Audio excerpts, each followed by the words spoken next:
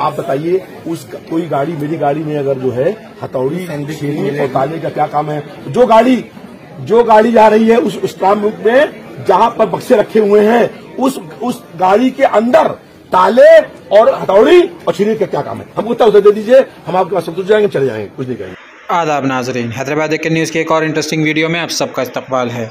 UP election के बाद EVM को ट्रांसफ़र करने वाली गाड़ी में पाए गए सील और ताले जिसे पकड़ लिया है इस नेताजी ने और इसके बाद इन्होंने पुलिस से कुछ सवाल उसके बाद पुलिस ने क्या जवाब दिए देखिएगा इस वीडियो में। बेटी है। छीन आप हमको सुनिए। आप हथौड़ी और ताले का क्या काम है उस गाड़ी के अंदर? जो गाड़ी उस जगह ताले जा रही है जहाँ एंट्री बंद है जहाँ पर गाड़ी जाएगी उस जगह गाड़ी जा रही है मंत्री मंत्री जी सील भी है साथ में। सील का क्या होगा? गाड़ी वापस ले सील भी है भैया। और यही गलती आपको वो क्या बोलते हैं? जो छेनी थोड़ी हुई तो गाड़ी बनाने के लिए ड्राइवर रख सकता है गाड़ी ड्राइवर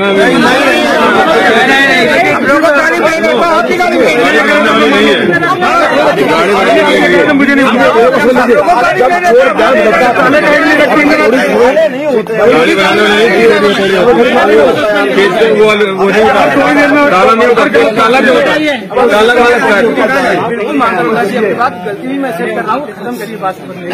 खत्म करिए बात ज़िंदगी खत्म कर दे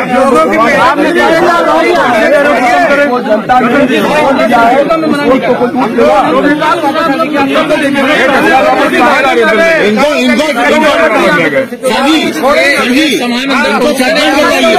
आप हमको कि जब ये ऑर्डर है जब ये ऑर्डर है कि इस इस गेट के अंदर गाड़ी नहीं जाएगी तो इस गेट के अंदर गाड़ी क्यों गई?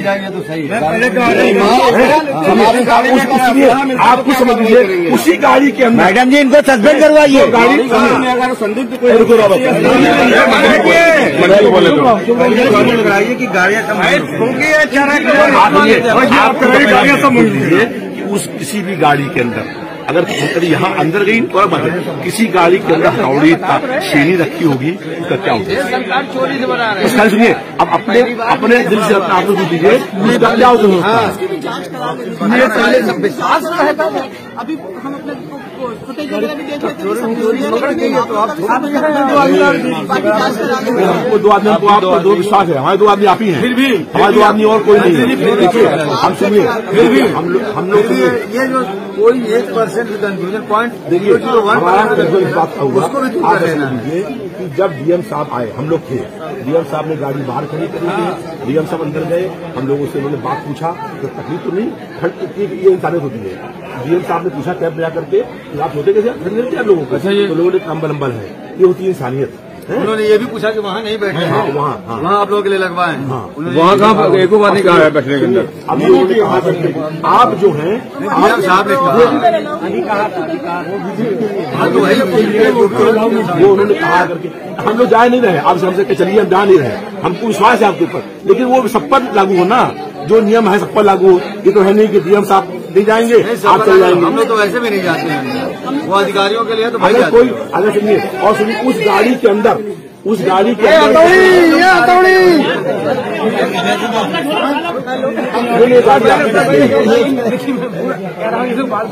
बात बढ़ाने क्यों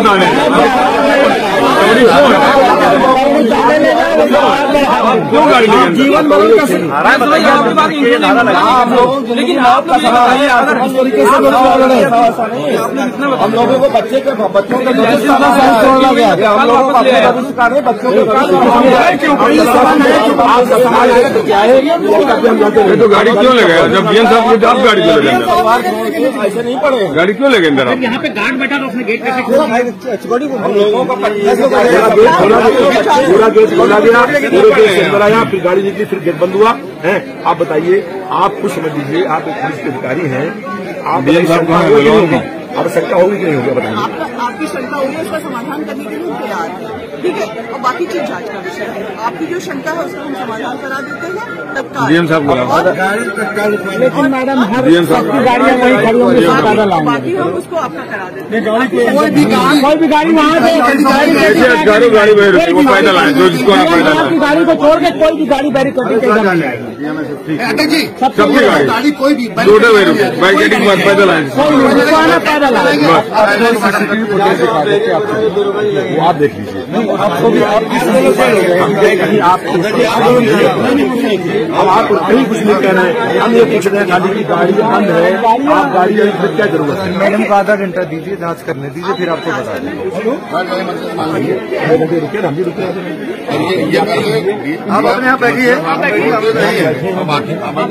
बैठ हम लोग पूरा कराएँगे निष्पक्ष रहेंगे बिल्कुल निष्पक्ष है हम लोग हमारी भी गाड़ी आती है और दिन में दो बार आती है कम से कम नहीं आप चाहे दस दस बस आ रहे ठीक है। आप बताइए हमारा एक प्रश्न आप दे दीजिएगा हमको हम सुनेंगे अगर ये दिन में काम हुआ है अगर ये काम सिर्फ़ रात में होता तो हम लोग ये चुनाव नहीं होते ना तब क्या होता हथौड़ी छीनी और ताले को क्या होता नहीं और शक बढ़ जाता और शक बढ़ जाता ये बात सही है लेकिन इसका इसका देख लिया जाए इसको जो त्रुटि हुई है उस त्रुटि को पूरा चेक कर समाधान करा दीजिए आप जिम्मेदार पद पर हैं बिल्कुल बिल्कुल आरोप है है।